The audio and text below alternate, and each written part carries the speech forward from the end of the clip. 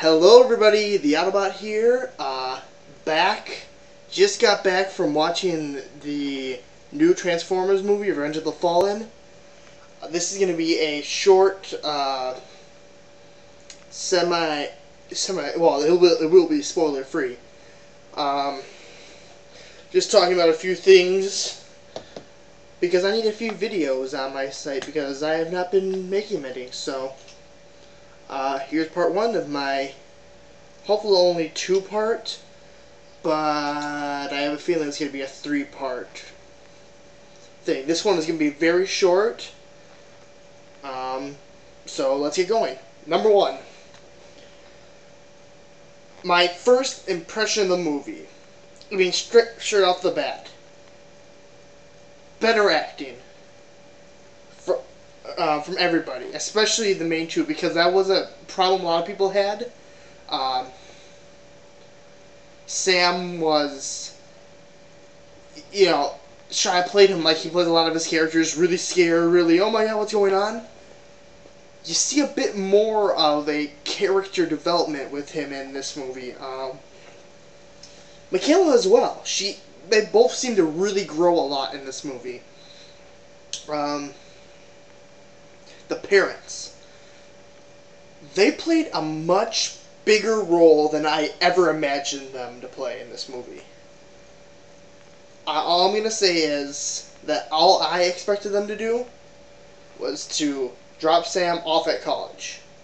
And then, you know, that one scene we saw from the trailer, I thought maybe they'd show up later. But anyways, that's enough of that. And the humor. Hilarious it wasn't the Autobots this time, about stuff. Oh, last time, oh, how I stepped on the grass. No, no, no. There wasn't a whole lot of that, except from Skids and Mudflap. They did provide, and it's kind of funny. Vangelis was semi-right about his whole how they happened, but whatever. Um, I'm going off on a tangent. I need to stay focused so I can get a quick video. Anyways, um, what really, really, really grabbed me was the entire complexity of the storyline. Or not complexity, how it was well woven together, I should say. You know, there were paths that a lot of times it was like, okay, why is this happening? In the last movie, it just seemed like, especially, um, it didn't have a lot of the scenes like in the last movie where it was like, oh, now we'll go to a hacker that can randomly somehow figure out this code. No, no, no, there wasn't any of that. It was straight, bare to the bones. This is how it's going to happen. Boom, it's there. Um, also, I gotta say, props to Frank Welker. It was a it wasn't the Soundwave we all know and love, but it was another Soundwave that I believe we can know to, come to know and love. So, uh, just putting that out there.